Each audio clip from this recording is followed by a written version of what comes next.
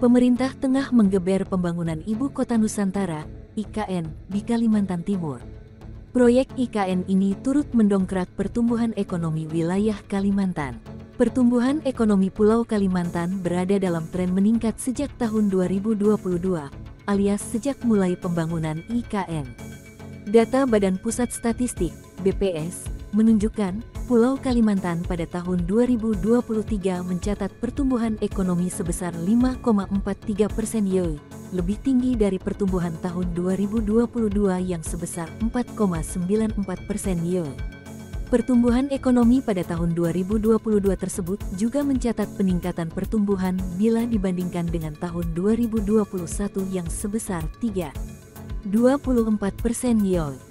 Pelaksana Tugas PLT, Kepala BPS Amalia Adininggar Widyasanti mengatakan, pertumbuhan ekonomi Pulau Kalimantan tersebut salah satunya disumbang oleh pembangunan IKN. Pertumbuhan Pulau Kalimantan menunjukkan perekonomian yang menguat di 2023, salah satunya ditopang pembangunan IKN.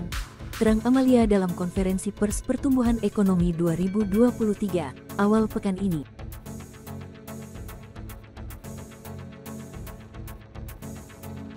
Provinsi Kalimantan Timur mencatat pertumbuhan ekonomi sebesar 6,22 persen YoY, setelah Provinsi Maluku Utara dengan capaian pertumbuhan ekonomi 20,49 persen YoY, dan Provinsi Sulawesi Tengah dengan pertumbuhan ekonomi 11,91 persen YoY.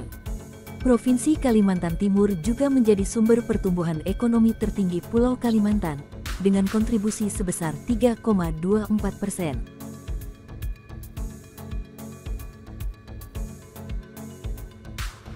Sumber pertumbuhan utamanya adalah pertambangan dan penggalian, konstruksi, serta industri pengolahan, kata Amalia.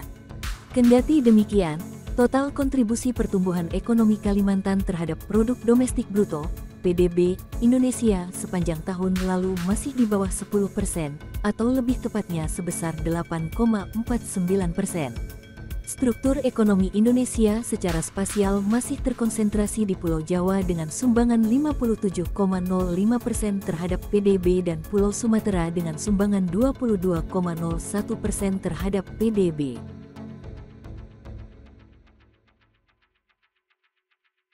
Download Tribun X sekarang, menghadirkan lokal menjadi Indonesia.